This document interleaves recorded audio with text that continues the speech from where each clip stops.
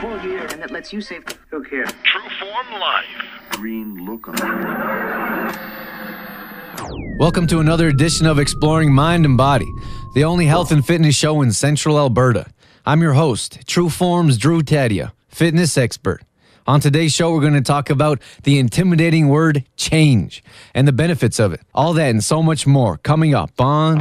This is Exploring Mind and Body with True Forms Drew Tadia, fitness expert on 96.5 CKFM. In this segment, we're talking about changing food routines. Food is like exercise in many ways. Changing up your routine to avoid plateaus, which is when we hit a barrier when we don't see the changes anymore. It's also important in the gym and when it comes to food. We need to do the same thing if you want to continue to see results or if you hit that little bump you need to get over. Times of days can be changed, of course, which foods you choose to prepare and what time of day you're eating them. If you do the exact same thing day in and day out, for most of us, we feel stagnant. We need changes. As much as many of us are afraid of change, we need them. At least small adjustments. If we do the same thing day after day, we get bored. We lose focus on our goals. We lose interest in what we're trying to achieve or what we've set out to do. Changing things up is also important in the big scheme of things. So change your eating patterns. Get up a little earlier and prepare a bigger meal. Change your regular shake to quinoa and eggs. Or if you have eggs and toast, try a shake and have that meal for breakfast.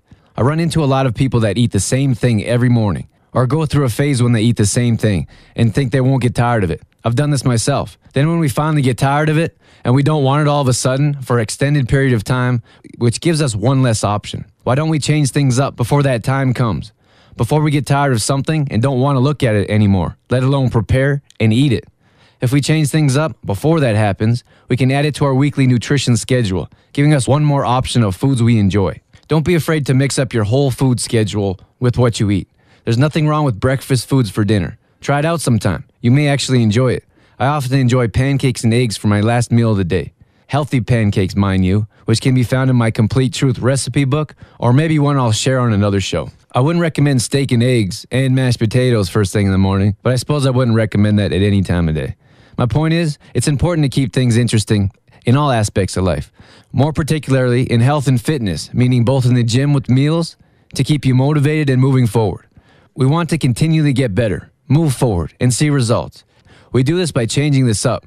There's no way around it. Humans are great at adapting. And without change, we're stagnant. Our muscles adapt to the same routine, and our bodies stay the same with food. Compare this to your financial situation. Let's say you have a salary. We do our job day in and day out. Does our salary change? Not likely. But if we put in more effort, we might get a bonus. If we make a change, do some research, and find some passive income, we can certainly enjoy another bonus of added income if we're willing to make that change. So put in that effort. Enjoy your little adjustments. All right, in this segment, we're going to talk about undue stress. Each one of us carry around undue stress either all the time or from time to time. I'm going with all the time for most of us. We're always worried about something. Worried about if so and so will get along, worried about coworkers or employees, friends and family, who we are pleasing, who likes us, our jobs, and almost always our money. I like to call this undue stress. Most of the time, and I say most in capital letters, whatever we're worried about, whatever we're stressed about, whatever it is that stays in the back of our minds when it's not directly on our minds is something that isn't a big deal. At the very least, not as much as a big deal as we think it is. I'm sure we've all been in that situation where we did something we probably shouldn't have. We think we're going to get fired once the boss finds out, our best friend may leave our side, or maybe our parents will be disappointed in us. Our biggest problem in these situations is that we don't confront the issue. We put it off until it goes away, which it almost never does, or until we have no choice but to address it. This only causes stress or even anxiety to build up. Whatever we're worried about multiplies as we continue to put it off and worry about it more. Time is no friend when we're avoiding a problem. Let's talk about how to address an issue. I'm a big believer in lists. So, what we're going to do is start a list. Instead of avoiding what's bothering us, let's pick the thing that's most relevant in our minds. The first step is write it down. After we've written it down, we're going to write down our biggest fear. That's right, write down the worst case scenario. Then finally, you're going to write down as many things as you can as to what you can do to take action to address these fears. Most of the time, writing down the fear alone will be a big help. I'm telling you that I can almost guarantee you that once you address the situation, once you stare it right in the face, it won't seem so bad. It's that procrastination, that hiding, from the issue or problems that causes these issues to grow like they do. So once you sit down and actually address them, you'll see that they aren't so bad. And if that doesn't make you feel better, coming up with simple things you can do to make it better almost certainly will. Tell your best friend what happened. Tell your best friend what happened. They wouldn't be your best friend if they didn't understand you. Be upfront with your boss. Tell them what happened, why it happened, and why it won't happen again. And maybe if it's your parents or someone else, be honest with them. Most people are more understanding than we think. And if it's out of your control, let it go. Many times we worry about things we have no business worrying about. The most important thing we can do is address the situation in some way. Take action. Don't push your problems away. Don't push them deep down because whatever stress or worry it brings along with it, it's not worth it. So, next time something's on your mind, instead of waiting days, weeks, or even years to do something about it, start now and make a list. Exploring mind and body with Trueform's Drew Tadia would not be possible without the help from the following sponsors Lens Chiropractic, AG Foods in Didsbury, CLC Fitness Center, Health Street in the Cornerstone Shopping Center Olds, and Shoppers Drug Mart, working together to help build a healthier tomorrow. For more information on Trueform Life, Drew Tadia, or how to become a sponsor of Exploring Mind and Body, visit TrueformLife.com. In this segment, we're going to talk about fridge tips and how to make your choices easier and find exactly what you're looking for when it's mealtime. The number one tip I want to start out with is put your healthy food in the front of the fridge. If it's unhealthy food and you want it, you'll move unhealthy food out of the way to get to it. On the other hand, there's a good chance you'll run into the old saying, out of sight, out of mind.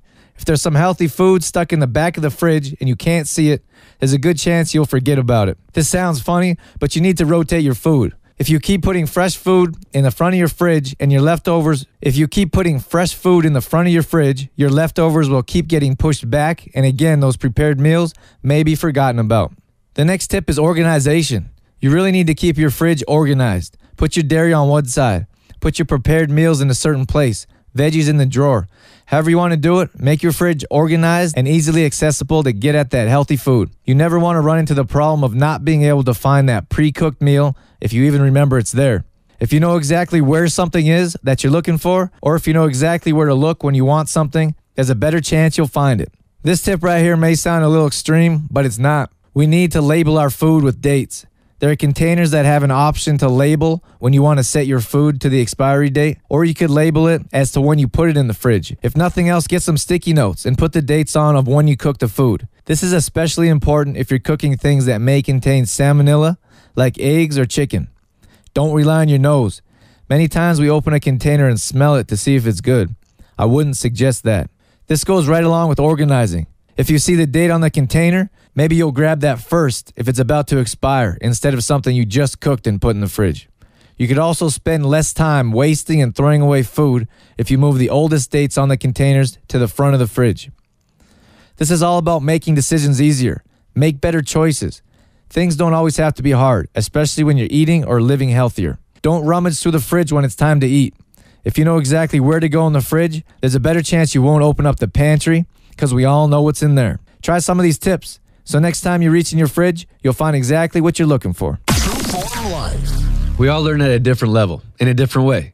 We mirror differently and understand differently. We're all unique individuals. So, how could we learn the same way at the same rate? It's important to understand how we learn so we can be efficient at whatever task we want to accomplish. At the same rate, we need to be able to keep our originality. We need to know it's okay to be ourselves and think outside the box. Our whole system is designed around being the same. It's difficult for us to be our real selves, our true form, if you will. We were taught phrases like, it's my way or the highway. If you don't like it, you can get out. That's the way it's going to be under my roof. Of course, there's exceptions. I'm not talking about doing anything immoral or breaking the law. I'm talking about being ourselves and being let to be ourselves or even encouraged. In the school systems, we're taught to color between the lines. We're taught to keep quiet, head straight, and fall directly behind the next person. I understand there has to be some sort of order. We should learn how to follow instructions, but where's the time delegated to do whatever you want? Where's the time to draw, be, talk, and act however you want? How do we lose our imagination at such a young age these days? How come the people that want to do things their own way have a label? They aren't a good kid or a good person.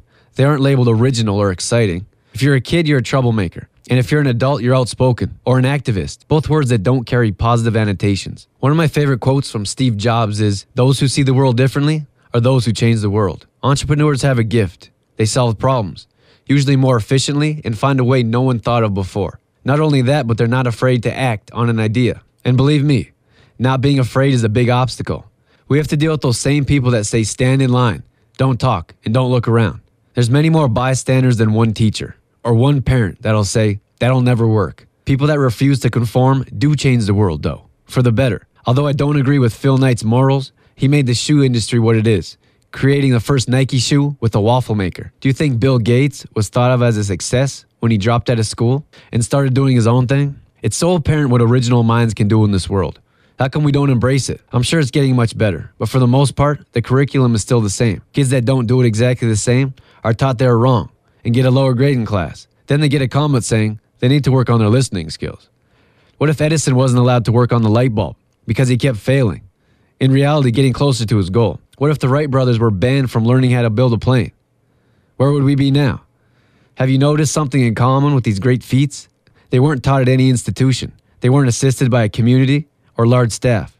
For the large part, these were individuals that thought unlike anyone at the time. For the most part, of course. Copernicus was banished because he was the first person to say the earth moved around the sun. Could you imagine how far our science would be along if they didn't try to burn him and all of his works in proving him incorrect? Columbus proved the world wasn't flat, and so on. These are people that wouldn't believe the norm and proved it wrong. And even today in our society, those people that think outside the box aren't celebrated. Well, not until they're worth billions, anyways. I didn't like high school much, or school at all growing up. I wasn't good at it. I couldn't tell you how much my mom spent on tutors because I wasn't smart. I couldn't learn, and I was treading on failing grades. I worked for hours, but it didn't matter. It wasn't until college before school made a difference. For the most part, I came and went when I liked. I studied on my own, took the classes I wanted, and flourished when I had a professor that didn't have a stranglehold on what I did when I did it. This is the first time I started to do well in school. Still, wasn't my favorite thing, but at least I didn't have to sit through any more tutoring sessions or teacher sessions talking about how I could work harder or get better grades. Now, don't get me wrong. I took pride in my grades in university. I worked hard. I was always in the library if I wasn't in the classroom or on the field. I wanted to do good for me and for those that thought and said college isn't for everyone. Once I finally graduated, that's when my learning really took off. I read books and watched videos and started to teach myself the best way to learn for me. I no longer picked up books that didn't relate to my life and only my classes. I read about what I wanted, what I wanted to learn, and what's most beneficial to me in, in the position in my life. Not that long ago, I took a class I needed for fitness instructing. I was out of school for a couple years and hadn't been directly taught by anyone else. I have to say, I did horribly. I've got to be one of the worst people at following directions. This was a huge learning experience for me. I knew what to do, but I had no idea what the person was talking about or how to do it the way they wanted it. I was always the last person to understand and follow through with instructions. This was a difficult pill for me to swallow and a big hit to my ego, as I feel I'm an educated person. It wasn't until days after I realized that I don't learn like others, and that most of us learn at a different rate. If the same person had told me to figure this out on my own, I would have been done in no time. But that wasn't the case in the classroom setting, nor is it the case for each one of my members and clients I teach on a daily basis. I have the privilege of running a kids' workout class, and one of the kids always says to me, Drew, can I do it the way I want to? Of course, is my answer every time. In fact, my favorite time during this class is at the end when all the kids pick their own exercises. You actually learn a thing or two and the kids enjoy it because they get to come up with new ideas. What if we encourage growth? What if we encourage thinking outside the box and originality? What if we bred little entrepreneurs from the get go? How much further would we be? How many more people can we positively affect in the world? What if we let everyone do it their way, as long as they get the same results or a better one in a shorter amount of time? That's the world I dream of. No more labels of activists or being outspoken. Only people that want to learn and do it their way. All right, that's all we have for you this evening. Be sure to tune in next week. I'm True Form's Drew Tadia, fitness expert in health and fitness for a better world. Thanks for listening. You've been listening to Exploring Mind and Body with True Form's Drew Tadia, fitness expert. For more on True Form's Drew Tadia, visit trueformlife.com or call 403 510 4915.